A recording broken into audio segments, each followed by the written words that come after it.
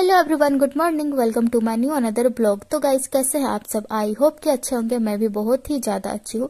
तो आज सुबह सुबह मैं तैयार होकर के निकल जाती हूँ अपनी फ्रेंड सलोनी से मिलने के लिए, क्योंकि आज हम दोनों जाने वाले हैं नेपाली मार्केट।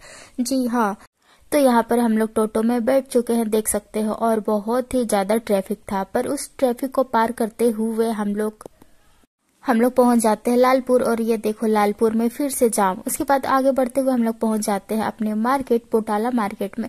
और देखो इतने सारे गर्म कपड़े यहाँ पर मिल रहे थे जो कि बहुत ही ज़्यादा खूबसूरत थे। मैं इधर उधर देख रही थी, पर मुझे बिल्कुल समझ नहीं आ रहा था कि मैं कौन सा लूँ, क्योंकि पिछले साल ही मैंने खरीदे थे और वो भी बहुत अच्छे हैं। और मुझे नहीं लगता है कि मुझे ये साल गर्म कपड़े खरीदने होंगे, क्योंकि पिछले साल जो मैंने कपड़े खरीदे थे, वो भी बिल्कुल नए थे। सिर्फ़ मैंने एक दो बार ही पहना था। बट और फ़िलहाल इस मार्केट में अभी उतना भीड़ नहीं है, क्योंकि हम लोग सुबह गए थे। और शाम होते होते इस मार्केट में बहुत ज़्यादा भीड़ हो जाती है।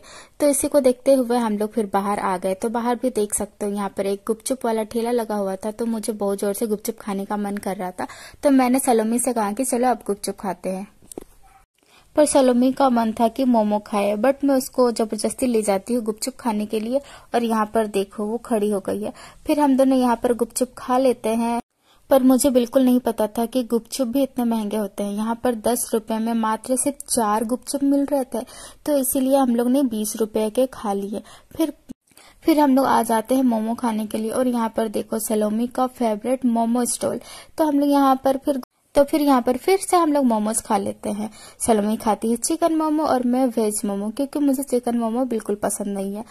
तो मैं वेज मोमो ही खा लेती हूँ। फिर शाम में अपने रूम आ जाती हूँ और देखो शाम में मैं खाती हूँ शाम खाती हूँ चाट। एंड आज का ब्लॉग कैसे लगा ज़रूर बताए मिलते हैं नेक्स्ट ब्लॉग पर। बाय।